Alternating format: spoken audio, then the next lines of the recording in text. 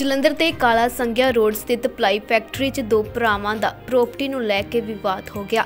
ਜਿੱਥੇ ਉਸ ਸਮੇਂ ਸਨਸਨੀ ਫੈਲ ਗਈ ਜਦੋਂ ਛੋਟੇ ਭਰਾ ਅੰਮ੍ਰਿਤਪਾਲ ਸਿੰਘ ਉਰਫ ਲੱਕੀ ਨੇ ਆਪਣੇ ਪਿਤਾ ਦੀ ਲਾਇਸੈਂਸੀ ਰਿਵਾਲਵਰ ਦੇ ਨਾਲ ਵੱਡੇ ਭਰਾ ਤੇ ਭਰਜਾਈ ਤੇ ਗੋਲੀ ਚਲਾ ਦਿੱਤੀ, ਜੋ ਉਸ ਦੀ ਭਰਜਾਈ ਦੇ ਜਾ ਲੱਗੀ, ਜਿਸ ਕਾਰਨ ਉਹ ਗੰਭੀਰ ਰੂਪ 'ਚ ਜ਼ਖਮੀ ਹੋ ਕੇ ਜ਼ਮੀਨ ਤੇ ਡਿੱਗ ਗਈ। ਪਤਨੀ ਨੂੰ ਗੋਲੀ ਲੱਗੀ ਦੇਖ ਜਸਵਿੰਦਰ ਸਿੰਘ ਨੂੰ ਦੌਰਾ ਪੈ ਗਿਆ ਤੇ ਸਦਮੇ ਵਿੱਚ ਉਸ ਦੀ ਮੌਤ ਹੋ ਗਈ। ਇਸ ਵਾਰਦਾਤ ਤੋਂ ਬਾਅਦ ਲੱਕੀ ਮੌਕੇ ਤੋਂ ਫਰਾਰ ਹੋ ਗਿਆ।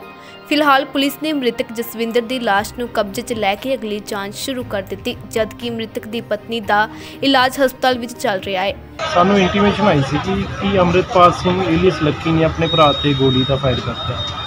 ਅਸੀਂ ਮੌਕੇ ਜਾ ਕੇ ਉੱਥੇ ਦੇਖਿਆ ਤੇ ਸਾਨੂੰ ਹੁਣ ਪਤਾ ਚੱਲਿਆ ਹੈ ਕਿ ਜਿਹੜਾ ਆ ਕਿ ਉਹਨੇ ਆਪਣੀ ਜਿਹੜੀ ਹੈ ਭਰਜਾਈ ਤੇ ਫਾਇਰ ਕੀਤਾ ਸੀ ਤੇ ਜਿਸ ਨਾਲ ਉਹਦੇ ਭਰਾ ਦੀ ਮੌਤ ਹੋ ਗਈ ਸ਼ੌਕ ਹੋਇਆ।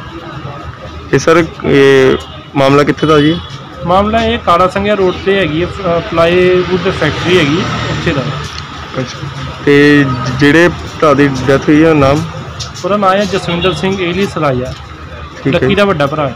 ਸੱਕੀ ਦਾ ਪਤਾ ਭਰਾ। ਤੇ ਸਰ ਇਹ ਰ- ਰਹਿਣ ਵਾਲੇ ਕਿੱਥੇ ਦੇ ਨੇ? ਤੇ ਰਹਿਣ ਵਾਲੇ ਤੁਹਾਨੂੰ ਦੱਸਿਆ ਕਿ ਕਾਲਾ ਸੰਘਿਆ ਨਾਲ ਜੁਆਇੰਟ ਫੈਮਿਲੀ ਸੀ ਇਕੱਠੇ ਰਹਿੰਦੇ ਸੀਗੇ ਭਰਾ ਆਪਣੇ। ਤੇ ਪ੍ਰਾਪਰਟੀ ਦੀ ਡਿਸਪਿਊਟ ਸੀਗਾ ਉਹਦੇ ਕਰਕੇ ਨਾਲ ਲੜਾਈ ਝਗੜਾ ਹੁੰਦਾ ਸੀ ਤੇ ਇਹਨਾਂ ਤੇ ਹੁਣ ਉਹ- ਉਹ ਮੁੰਡਾ ਮਿਲ ਗਿਆ ਦੂਜੇ? ਇਹਨਾਂ ਦਾ ਇਹ ਛਾਪੇਮਾਰੀ ਕਰ ਰਹੇ ਆ ਜਿਹਨੇ ਗੋਲੀ ਚਲਾਈ। ਬਾਕੀ ਇਹਨਾਂ ਬਿਆਨ ਲੈ ਕੇ ਅਸੀਂ ਜਿਹੜਾ ਪਰਚਾ ਦਰਜ ਕਰਤਾ ਤੇ ਜਿਹੜੀ ਵੀ ਅੱਗੇ ਇਨਵੈਸਟੀਗੇਸ਼ਨ ਜੋ ਵੀ ਆਊਗੀ ਲੇਟੈਸਟ ਤੁਹਾਨੂੰ ਇਨਫੋਰਮ ਕਰਾਂਗੇ। ਜਲੰਧਰ ਤੋਂ ਰਵੀ ਗਿੱਲ ਦੀ ਰਿਪੋਰਟ। ਜੇਕਰ ਤੁਸੀਂ ਦਰ-ਦਰ ਦੀਆਂ ਠੋਕਰਾਂ ਖਾ ਕੇ ਪਰੇਸ਼ਾਨ ਹੋ ਚੁੱਕੇ ਹੋ ਤਾਂ ਇੱਧਰ ਉੱਧਰ ਨਾ ਘੁੰਮੋ ਕਿਉਂਕਿ ਮਹਾਕਾਲੀ ਜੋਤਿਸ਼ ਕੇਂਦਰ ਕਰੇਗਾ ਤੁਹਾਡੀ ਹਰ ਸਮੱਸਿਆ ਦਾ ਹੱਲ। ਜੇਕਰ ਤੁਹਾਡਾ ਪਤੀ ਪ੍ਰੇਮੀ ਜਾਂ ਬੇਟਾ ਕਿਸੇ ਦੇ ਵਸ ਵਿੱਚ ਹੈ ਤਾਂ ਘਬਰਾਓ ਨਾ। ਮਹਾਕਾਲੀ ਜੋਤਿਸ਼ ਕੇਂਦਰ ਕੋਲ ਆਓ ਅਤੇ ਆਪਣੀ ਹਰ ਸਮੱਸਿਆ ਤੋਂ ਛੁਟਕਾਰਾ ਪਾਓ।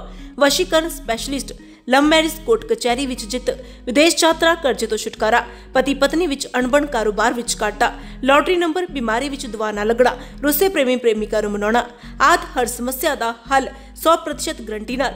ਤੁਸੀਂ ਰੋਂਦੇ ਹੋਏ ਆਓਗੇ ਅਤੇ ਹੱਸਦੇ ਹੋਏ ਜਾਓਗੇ। ਇੱਕ ਫੋਨ ਤੁਹਾਡੀ ਬਦਲ ਸਕਦਾ ਹੈ ਜ਼ਿੰਦਗੀ। ਤਾਂ ਫਿਰ ਸੋਚਣਾ ਛੱਡੋ। ਅੱਜ ਹੀ ਆਓ। ਮਹਾਕਾਲੀ ਜੋਤਿਸ਼ ਕੇਂਦਰ ਮੋਬਾਈਲ ਨੰਬਰ 70079 48877